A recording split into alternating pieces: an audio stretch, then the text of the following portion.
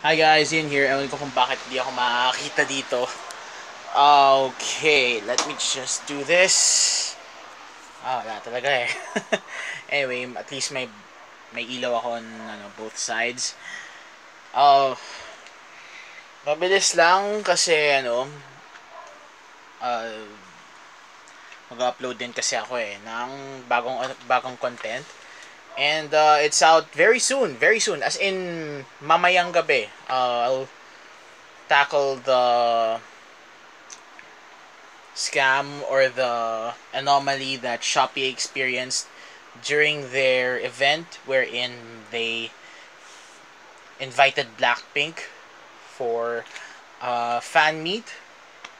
So, ayun. Uh, inap parang nire-render na lang siya sa cellphone ko kasi cellphone pa rin talaga ang ano ko ang setup ko. Although I do have a camera, ewan ko lang kung gumagana pa siya hanggang ngayon. And um, I still have to uh, polish my editing skills sa Sony Vegas on my laptop. And ayun nga, napaka napakatagal ko lang hindi nag-edit sa isang computer editing software dito lang talaga sa phone nagsisimula lahat. But yeah.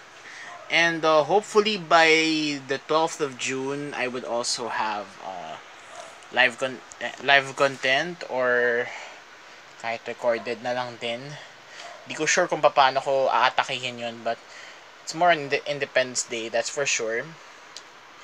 And uh, yun nga I just wanted to let you know that I'm a bit um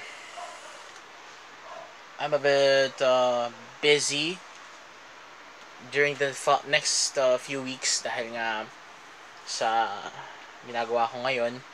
And uh, I hope I could release more videos. Ayun lang. And with that said this is Ian and until then see you next time Bye guys. Anyway, uh, watch out for the the other video on Shopee. Okay? Bye guys.